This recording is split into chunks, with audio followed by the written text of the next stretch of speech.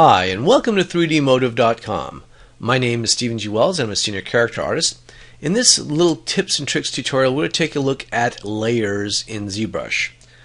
We're going to use an old model of mine. Uh, it was a fun little superhero model I did. It was for fun. Um, but I want to show you what we can do with layers. I'm just going to zoom in uh, to the head.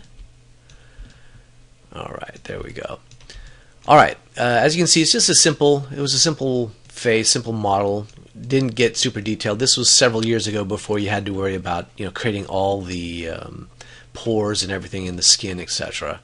Uh, it was enough that that we get by with what we were uh, working on.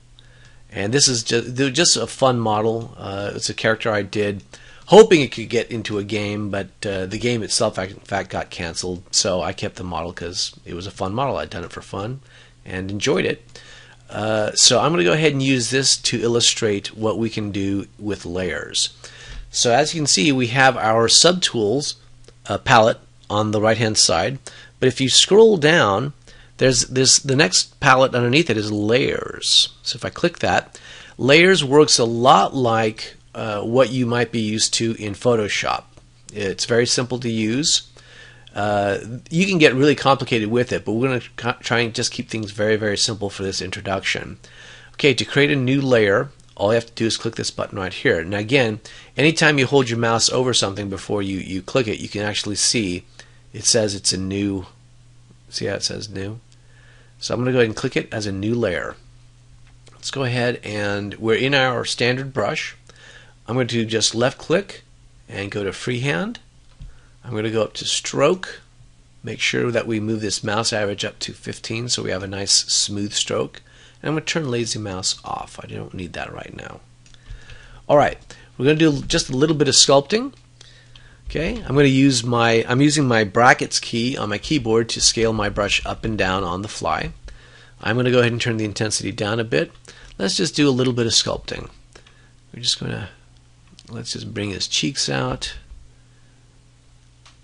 Let's bring the chin down and around. We're just going to create a a nice alienish type of um, chin. We're to let's pull out his brow a little bit, make it really angular. All right. Let's go ahead and do his nose. Just get a nice bump on the nose widen it out a little bit. There we go. Something like that. Okay, let's assume, okay, you know, we're playing around, we're giving some variations.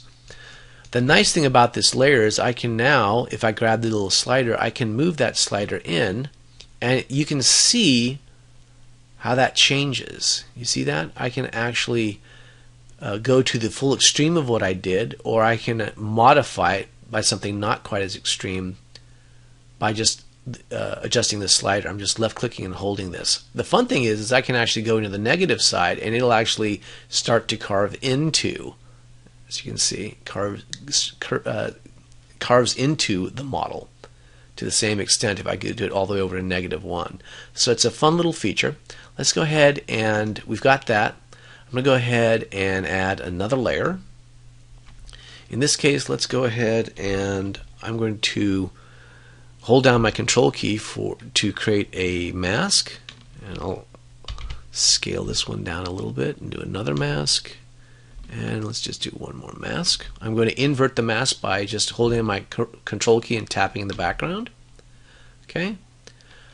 Let's go ahead and use the I'm going to click the my brush and I'm going to hit S. That'll that'll highlight all my S brushes. And I'm going to go ahead and grab the snake hook Let's go ahead and, oops, I have RGB on. Let's turn that off. We don't want that on. And I'm going to go ahead and pull that out. And that one. And I'm just being arbitrary about this. I'm just pulling it out. Okay. So there we go. We have a guy with has prongs, for lack of a better uh, term let's go ahead and just adjust this down and as you can see I can now adjust this as well And of course, you can actually do uh, animation and morph targets and stuff like that with this as well uh, by this method. But you can actually adjust this sort of stuff on the fly. The nice thing is, is I can adjust different elements at the same time. Like, let's say we like the long spikes, but we don't need the faces deformed. I can actually scale that in a little bit if I wanted to.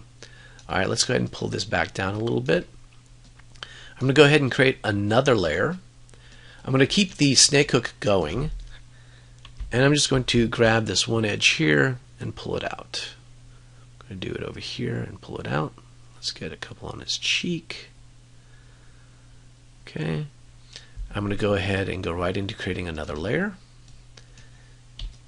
Okay, I'm going to mask his chin area. I'm going to blur it by just blurring the mask. You just hold down your control key and click on the mask itself. Okay, I'm going to invert that.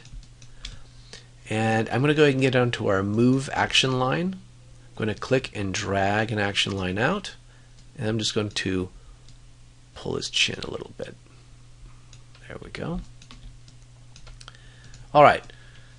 So as you can see, it's pretty deformed pretty quickly. Uh, again, this, this, is one of those things that you need to show some variations to your art director on some of the things you can do. The nice thing is, is we can now vary any one of these as we want to. We can create the chin up a little bit. We can grab these things and move them in. We can pull these prongs back a little bit. We can go ahead and just warp it a little. Let's go ahead and adjust this. Let's do his jaw out a little bit farther. Okay. And in fact, let's go ahead and add another layer. And this one, I'm going to get on, click my brush, and I'm going to hit M for move. Now there are several different types of moves. Okay, there's move parts, move topo elastic, move topological, and just move. Right now, we're just going to use move topological. That means it's going to try and retain my, if I hit Shift F, you can see my polyframe. By using move topological, it's going to try and keep the um, original design of my, or the original layout of my uh, wireframe. If I hit go down to Shift D, you can see the original, the original um, wireframe and the nice thing with Move Topological is it'll try and adjust for that. It'll try and keep all of that uh, very nicely. Okay. So let's go ahead and I'm going to hit Shift F to turn that back off. And let's go ahead and pull this out a little bit. Oop, a little bit extreme. Let's go for something not quite as extreme. There we go. He's got a big lantern jaw. Okay. Again, we can now adjust that. We can pull it in a little bit. We get some ideas if we want to turn on how this particular character, you know, Hulk out or something. We'd be able to determine, you know, what looks best and to what degree we can uh, sculpt this guy out and warp him to get different effects. Let's go ahead and, and pull these out a little bit more. And I'll probably pull this down just as a starting right there. Nice. Now I can go ahead and save this file and then keep all these layers so I can go ahead and readjust them. Or let's assume for a second that your art director says, uh, you know what, that's perfect. That's what I'm looking for. That's the guy I want to see.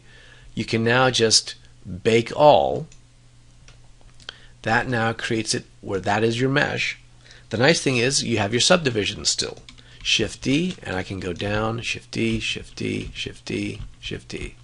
That's what the lowest subdivision of your model ends up looking like. That would be technically be what you originally sculpted. So you'd probably have to clean this up a little bit so it stands out uh, a little bit to work for the deformations, obviously. But right then and there, you have like, okay, there's my character. That that's what it looks like. And it was a simple, simple, easy uh, method with the layers because it's interactive. That's what I really love about the layers in ZBrush. You can adjust you know, you could have 20 different layers and you can adjust each one to get exactly what it is you're looking for. Okay? And that's just for the sculpting. You could do the same with poly painting as well. You could do different uh, poly painting variations in layers and mix and match those as well. but this is just a very quick introduction. Uh, I think this gives you an idea of what you can do with that. Anyway, I hope you guys have enjoyed this. My name is Stephen G. Wells, and this has been 3dmotive.com. Thanks for watching.